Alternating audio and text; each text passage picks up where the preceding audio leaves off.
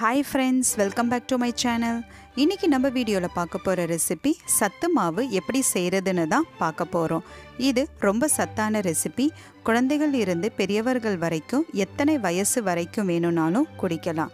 இது ரொம்ப சத்தானதாக இருக்கும்.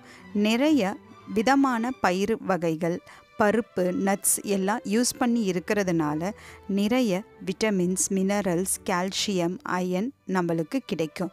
ஸோ கண்டிப்பாக வீட்டில் ட்ரை பண்ணி பாருங்கள் ட்ரை பண்ணி பார்த்துட்டு எப்படி இருக்குன்னு சொல்லுங்கள் தினமும் ஒரு கிளாஸ் குடித்தா போதும். ஒரு மாதத்தில் வித்தியாசத்தை நீங்களே பார்ப்பீங்க.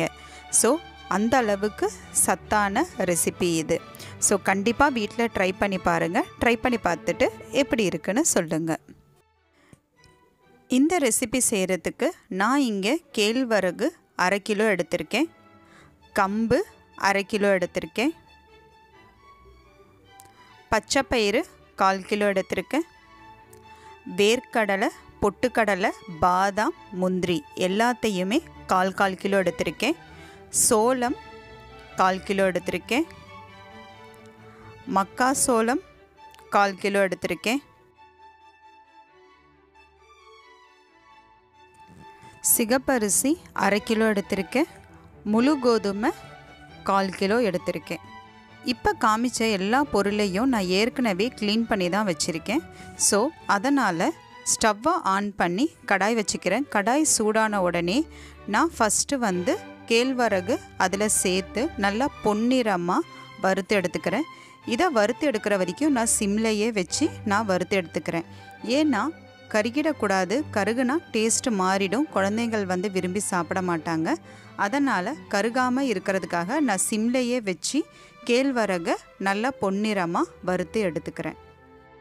கேழ்வரகு பொன்னிறமாக ஆன பிறகு ஒரு தட்டில் மாற்றிட்ட பிறகு அதே கடாயில் நான் சிகப்பரிசியை சிம்லையே வச்சு பொன்னிறமாக வறுத்து எடுத்துக்கிறேன்.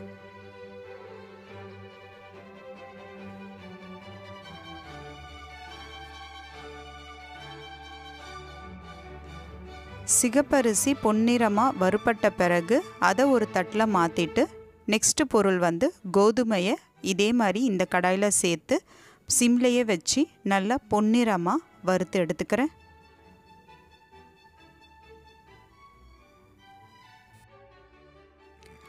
கோதுமை வறுப்பட்ட பிறகு வேர்க்கடலை பொட்டுக்கடலை பாதாம் முந்திரி இது எல்லாத்தையும் சேர்த்து நான் நல்லா பொன்னிறமாக வறுத்து எடுத்துக்கிறேன். பச்சைப்பயிரை சேர்த்து நல்லா பொன்னிறமாக வறுத்து எடுத்துக்கிறேன்.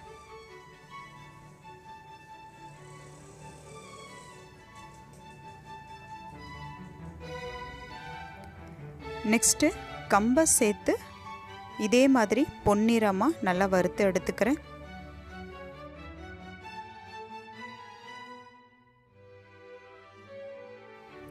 நெக்ஸ்ட்டு சோளம் சேர்த்து நல்லா பொன்னிறமாக வறுத்து எடுத்துக்கிறேன்.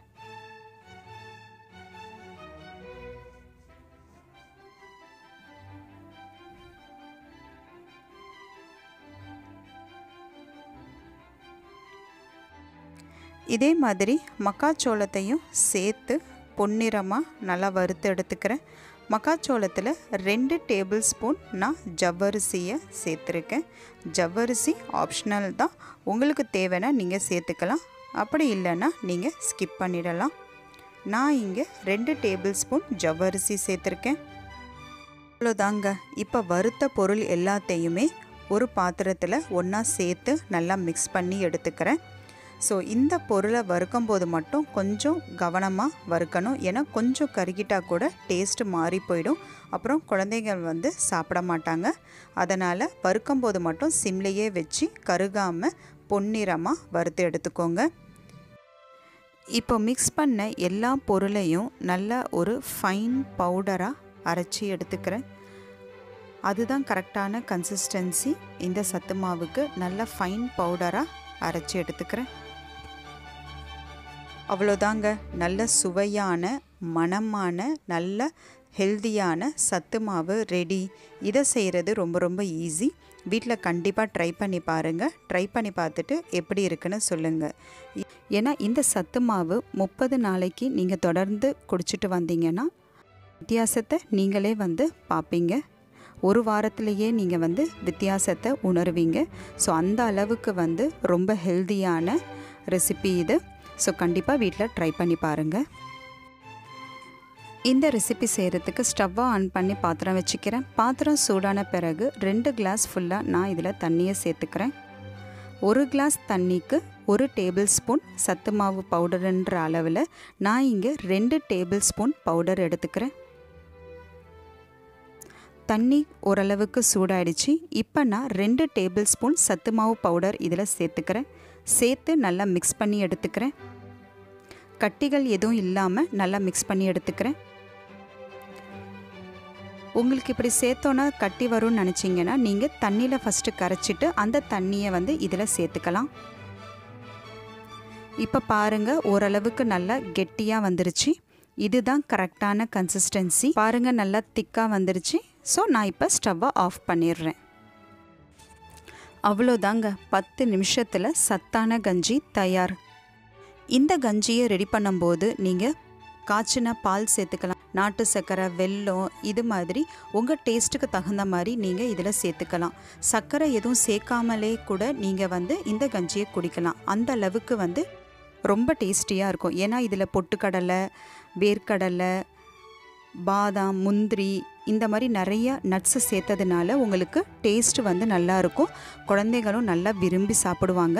கண்டிப்பாக வீட்டில் ட்ரை பண்ணி பாருங்கள் ட்ரை பண்ணி பார்த்துட்டு எப்படி இருக்குன்னு சொல்லுங்கள்